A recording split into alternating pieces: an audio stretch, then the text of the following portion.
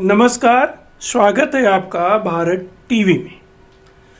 आजकल हर व्यक्ति बढ़े हुए पेट से परेशान है। पेट ही नहीं, आजकल बढ़ती हुई कमर भी लोगों के लिए समस्या बनती जा रही है। क्या मर्द, क्या औरत, क्या लड़का, क्या लड़की, क्या बुज़ुर्ग, हर लोग बढ़ती हुई कमर और बढ़ती हुई तोंत से परेशान है। कम उम्र में ही लोगों का तोत निकल जाता है, जिससे उनकी अच्छी खासी शरीर बेडोल हो जाती है। लड़कों की परेशानी ये है कि पेट निकलने के बाद लड़कियाँ उनको कम दिखती हैं और अट्रैक्शन कम हो जाता है। लड़कियों की परेशानी ये है कि उनका तोंद या कमर बढ़ने से ड्रेस उनके ऊपर फिट नहीं होती है। अधेड़ उम्र के लोगों की या तीस से ज़्यादा उम्र के लोगों की परेशानी ये है कि पेट निकलने और कमर बढ़ जाने से वो और ज़्यादा बुज़ुर्ग लगते हैं। तो ये परेशानी हर एक उम्र के लोगों की है। लेकिन यदि आपका भी कमर कमर की जगह कमरा हो रहा है तो आपके लिए समाधान है। आप बढ़ते हुए कमर को रोकने के लिए, कमरा से कमर बनाने के लिए और तूत से एक फिट शरीर बनाने के लिए थोड़े से उपाय करिए और फिट हो जाइए। कमरा से कमर का बनना बहुत ज़रूरी है। सबसे पहले आपको करनी है आपकी आदत में सुधार। एक आदत ऐसी है जिसे सब लोग जानते हैं, लेकिन सुधार नहीं कर पाते। वो है सुबह उठने की आदत। आपको यदि अपने कमरा को कमर बनाना है और तोत को भगाना है तो सबसे पहले सुबह उठना चालू करिए। सुबह उठ के जॉगिंग करना, दौड़ना, व्यायाम, योगा, टहलना, दौड़ना, ये बहुत ही ज़रूरी है। इसको आपको तुरंत ही लागू करना है। यदि आप ये लागू नहीं कर रहे हैं तो किसी भी तरीके की बाकी चीज़ें आपको फ़ायदा कम करती है। आपको यदि कोई भी पेट से संबंधित शिकायत है तो उसको भी दूर करना ज़रूरी होगा। इसके अलावा, वज़न घटाने के लिए लोग जिम में घंटों पसीना बहाते हैं, लेकिन बाकी का दिन भर और बाकी की पूरी रात की उनकी लाइफ स्टाइल बिल्कुल अलग है।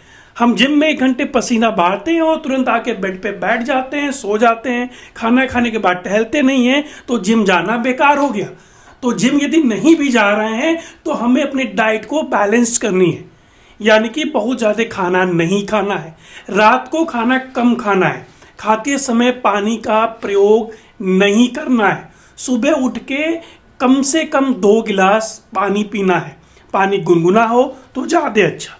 पानी में यदि आप नींबू मिला लें तो और अच्छा। और यदि सुबह उठ के आप आंवला और एलोवेरा का जूस पी रहे हैं तो अति अच्छा। इसके अलावा और भी उपाय हैं जो हम आपको बताने जा रहे हैं। ओट मील और अखरोट। ओट मील और अखरोट के कॉम्बिनेशन से शरीर को बैलेंस न्यूट्रिशियन मिलता है। ओट मील जहाँ फाइबर का अच्छा स्रोत माना जाता है वहीं अखरोट में फाइबर के साथ साथ फैट और प्रोटीन की अच्छी मात्रा होती है। वेट मैनेजमेंट के लिए यह बहुत ही अच्छा कम्बिनेशन माना जाता है। पीनट और केला। पीनट बटर के साथ केला खाने से हमारे शरीर को ढेर सारे पोषक तत्व मिलते हैं। यह गुड कॉप्स हेल्दी फैट और प्रोटीन का अच्छा स्रोत माना जाता है। जो लोग तेज़ी से वज़न कम करने की इच्छा रखते हैं, उनको एक बार ये कॉम्बिनेशन ज़रूर ट्राई करना चाहिए। यागर्ट और बैरीज स्टडी में यह बात साबित हो चुकी है कि यागर्ट तेज़ी से वज़न घटाने का काम करता है, क्योंकि इसमें कैल्शियम, विटामिन डी, प्रोटीन और अमीनो एसिड का कॉम्बिनेशन पाया जाता है, जिसका प्रयोग करके आप तेज़ी से अपना वज़न घटा सकते हैं। अंडा और शिमला मिर्च। प्रोटीन का राजा अंडा हमारे मेटाबॉलिज्म का बूस्ट करने का काम करता है।